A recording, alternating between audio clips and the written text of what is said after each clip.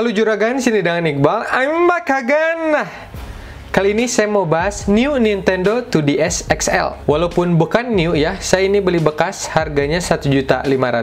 Kalau teman-teman beli di marketplace itu bisa dapat sekitar segituan atau di atasnya atau di bawahnya. Tergantung teman-teman dapat kondisi yang bagaimana. Kalau yang barunya ini masih ada yang jual sih sekitar di atas 3 jutaan lah.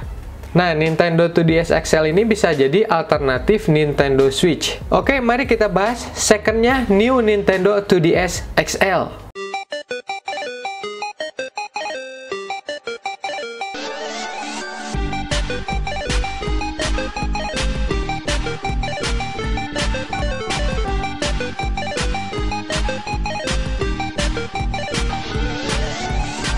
Oke, ini saya beli bekas user biasa ya, bukan toko. Saya dikasih Nintendo 2DS XL full set dengan memori 32 GB, udah di CFW ya, custom firmware dan dapat case Dobe.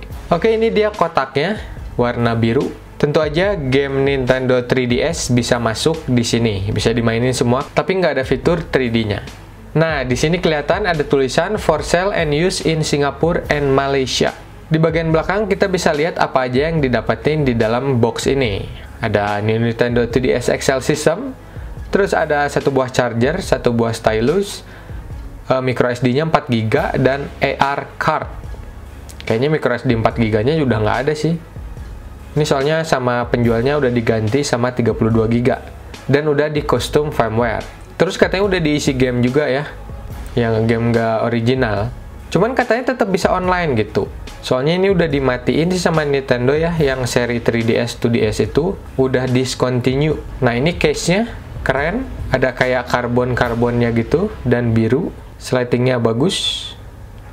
Di dalamnya ada silica gel, terus ada stylus yang panjang. Soalnya stylus si Nintendo 2DS XL ini sangat pendek. Kalau yang jarinya panjang itu pasti merasa kecewa lah. Oke, mari kita langsung buka aja. Kita lihat kondisinya ya, gimana nih. Kotaknya kayak Nintendo Switch ya. Ada dus di dalam dus kardus. Oke, ini dia konsolnya. Terus di dalamnya ada, nah ini, ada buku panduan penggunaan, AR card, dan kartu garansi. Ini dia chargernya, plastiknya panjang banget ya. Oh, udah diikat sama sellernya.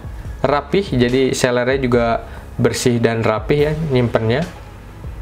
Nah ini dia chargernya original. 7 watt ya chargernya 900 mAh dan ini kerasa memang original sih. Oke sekarang kita langsung ke device-nya. Kita langsung ke handheldnya ya. Nah ini dia. Uh lumayan mulus ya bagian atasnya.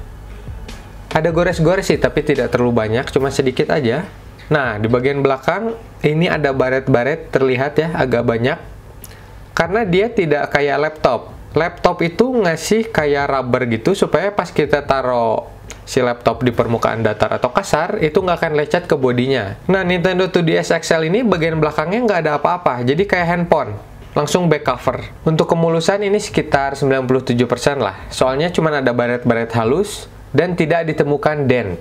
Tombol-tombolnya juga tidak dakian ya, khusus untuk tombol apa? L, ZL, R, ZR. Nah, itunya tidak ada daki. Biasanya kalau yang jorok itu pengguna suka ada daki.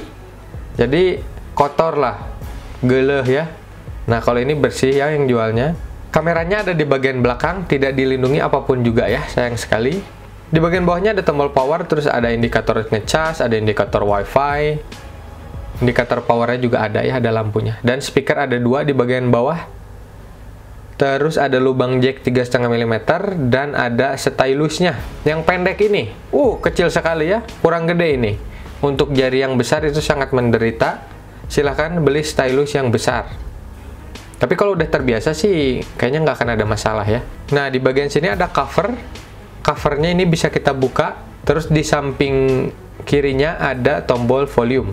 Bukan tombol ya apa ya? Scroll scroll gitulah. Oke kita buka covernya ada tempat untuk masukin cartridge gamenya ya.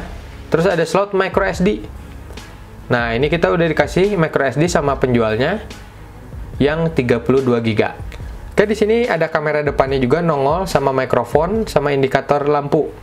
Oke kita buka. Set! Wih, lumayan bersih ya cuman ada beberapa sidik jari kita lap dulu. Kalau teman-teman beli second, tentu aja pertama harus cek analognya. Diputar-putar, takutnya ada nyangkut atau gimana, atau seret atau gimana lah yang nggak enakin, langsung protes. Nah ini masih bagus ya. Di padnya juga dicek tentu aja, ini masih enakin banget ini, parah loh. Tombol-tombolnya juga. Dan ini analog alternatif ya. Si, si stick namanya C stick. Nah ini dicek juga ya. Kayaknya sih normal semua ini. Layarnya udah terpasang anti gores ya bagian bawahnya yang touchscreen. Ini udah terpasang anti gores mantap bagian atasnya juga udah pasang anti gores wah mantap lah senang oke kita hidupin ya untuk ngecek nih Nah, ini udah hidup dan udah saya konekin ke internet. Jadi sekalian dikonekin ke internet, tanggalnya sih udah bener. Terus saya masukin nama saya gitu di profile lah jadi apa mi apa manusia-manusia gitu. Saya kurang paham sih sebenarnya. Nah, di sini kita bisa atur brightness, kita polin dulu ya ke 5. Uh, terang sekali. Dan ini ada gamenya banyak ya gamenya. Ada Mario Luigi Superstar Saga dan Bowser Minions. Wah. Cooking Mama, wah saya suka sekali Cooking Mama kalau ada cooking papa pasti lebih seru. Terus ada apa nih Mario Super Smash Bros. Terus ada Pokemon, Pokemon Ultra Sun, ada Super Mario 3D Land. Ah banyak lah ini. Oke sekarang kita cobain main game ya. Oke pertama kita cobain main Super Smash Bros. Dan kita langsung main online sama orang lain. Orang di negara lain. Wah kita coba aja ya. Oke udah masuk ke menunya Super Smash Bros. for Nintendo 3DS Wah mantap ya. 2014 game ya ternyata. Udah agak lama juga. Oke ini menunya. Ada Smash Online, Smash Run. Kita main online. Langsung kita cobain online ya. Connect to Nintendo Network. Oke. Posting udah ada Oke Tunggu dulu. Walaupun gamenya udah discontinue, tapi fitur online-nya masih bisa. Dan masih banyak banget player yang main Nintendo 3DS atau 2DS XL ini. Ya seri 3DS inilah. Masih banyak banget yang main. Soalnya library-nya juga banyak banget library game ya oke sini saya pilih Pikachu ya. Saya agak kurang hebat sih main Super Smash Bros. Saya nggak suka yang berantem-berantem sukanya yang petualangan. Oke sekarang kita tungguin dulu orang untuk masuk jadi ini bisa online ya udah jelas bisa online. Nah ini ada orang masuk tuh orang Jepang. Soalnya namanya bahasa Jepang. Oke masuk lagi. Orang Jepang juga ya bahasanya Jepang. Dan ada satu lagi namanya Parsia. Nggak tahu orang mana. Tapi pasti masih di sekitar Asia. Oke ini tes gamingnya ya. Wah tentu aja lancar banget karena ini memang game untuk konsol ini sih. Yang nggak akan ngelag lah. Jadi beda dengan handphone ya. Kadang tidak optimize untuk handphone ini handphone itu oke 3 2 1 time. Dan tentu aja saya kalah ya. Nggak mungkin saya menang main Super Smash Bros. Apalagi ini baru nyobain main di 2DS saya biasa main di Switch. Nah ini saya juara 4 mati dua kali. Oke sekarang kita tes game yang lain. Kita mau main apa ya? Kita main Cooking Mama. Wah even better than Mama. Wah ada gitunya kan what what will you do wah bukan what you will do oke okay. Mama challenge jadi ada challenge dari mama. Dan ya, ini game cocok untuk uh, pacar teman-teman ya. Yang cewek-cewek. Pacar teman-teman apa juga. Maksudnya ini cocok untuk game anak-anak perempuan atau ibu-ibu yang suka main game simple dan tidak rumit lah. Dari dulu ini nih ciri khasnya Nintendo DS ya, dual screen yang kayak gini, yang kayak 3DS, terus Nintendo DS Lite yang dulu-dulu itu. Nah, ini game ciri khasnya dulu.